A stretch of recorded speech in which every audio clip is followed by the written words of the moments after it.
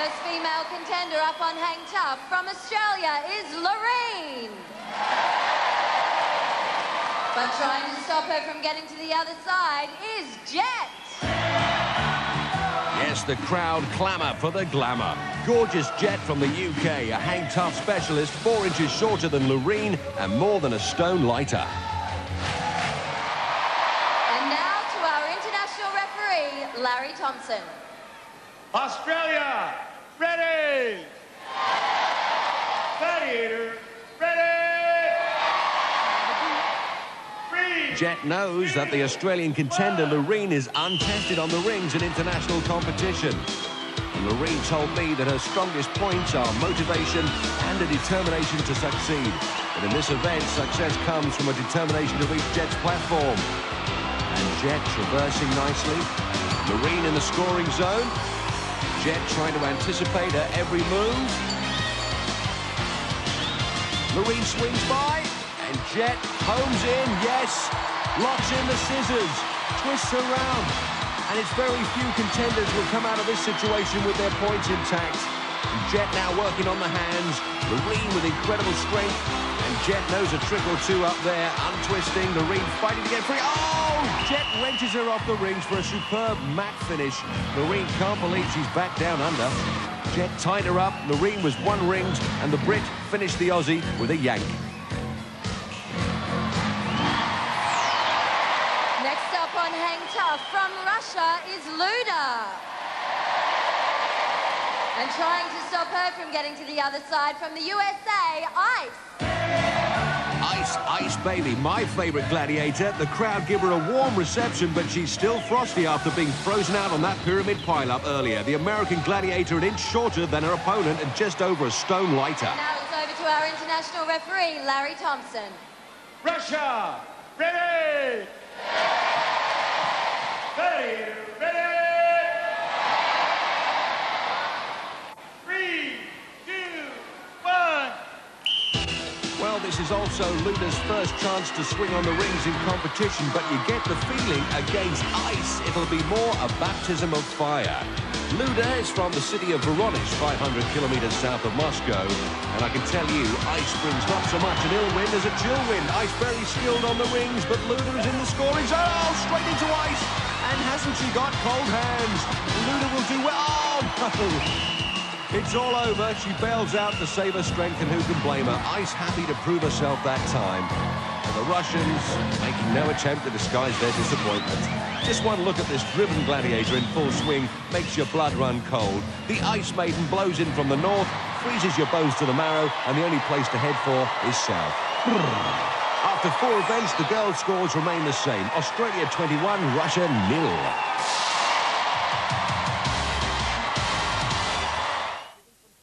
First up on Hang Tough from the USA, Pat. And he'll be up against the Gladiator, Giant. The German giant, the Teutonic tall person, the Berlin big boy. Call him what you will, he's an impressive international gladiator. Five inches taller than his opponent and almost two and a half stone heavier. And to start the game, our international referee, John Forsyth. USA, ready! Gladiator, ready! Three, two, one!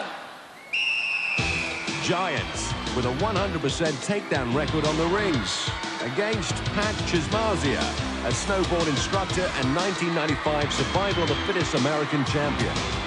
Survival of the Fittest is a mere eight-day, seven-event competition, but on Gladiators, it's six events in a single day. Pat's in the scoring zone, and Giant, one ring, but biding his time.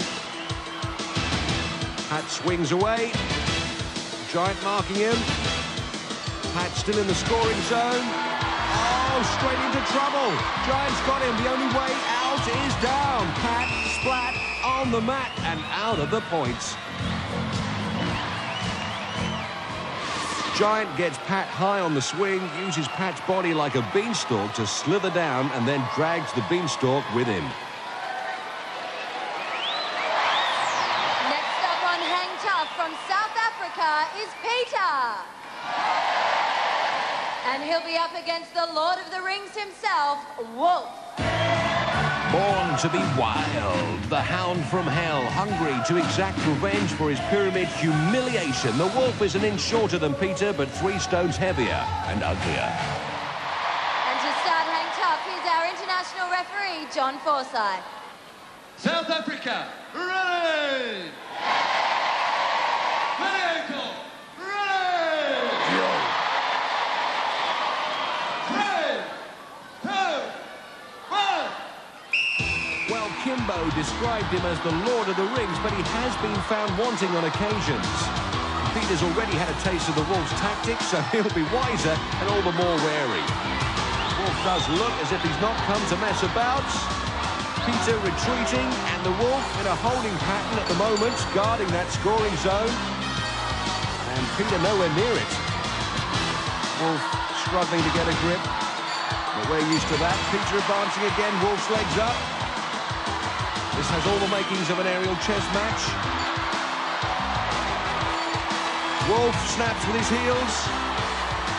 And Peter gives the Wolf a gymnastic lesson. Superb skills from Peter. And the Wolf just marking that scoring zone. Peter needs to get in there if this energy expenditure is all going to prove worthwhile. Wolf just biding his time, setting the trap. In he goes. Oh, and Peter escapes again. Wolf tries again. Still can't get a handle on the South African. Time up. Peter with a handsome display of skill on the rings, but wasn't hanging tough in the scoring zone. His fans applaud the effort, though. Peter, you did very well to stay away from him, but you didn't make it to the red rings, which is the object of the game. I don't know, but I mean, but I went anyway. Wolf was there. So you just wanted to avoid him at all Oh, costs. that's true. Wolf, you're supposed to be the Lord of the Rings. Where were you? Hey man, did you see what he did lifting his legs up above his head? Yeah, a few acrobatic moves there. Hey, did he score any points? I don't think so. No points! Well, no points for Peter, but please thank Wolf and Peter from South Africa. Well, Wolf shakes him by the hand and not by the throat. Amazing. After four events, the guys' scores remain the same. USA 19, South Africa 8. Next event.